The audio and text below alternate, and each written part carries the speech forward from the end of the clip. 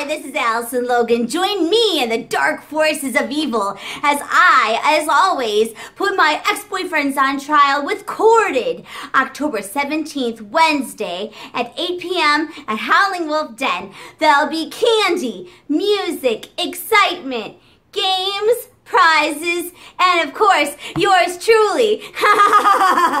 so come or be warned.